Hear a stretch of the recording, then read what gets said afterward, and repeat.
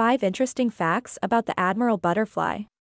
First, admiral butterflies are divided into two types, red and white admirals, each adorned with unique color patterns. Second, these butterflies migrate impressive distances, with some red admirals traveling from North Africa to the UK. Third, admiral caterpillars exhibit amazing camouflage abilities, resembling bird droppings to avoid predators. Fourth, adult admiral butterflies love nectar, often feasting on rotting fruit to get a sugar boost. Finally, these butterflies play a crucial role as pollinators, helping plants reproduce and maintaining ecosystems' health.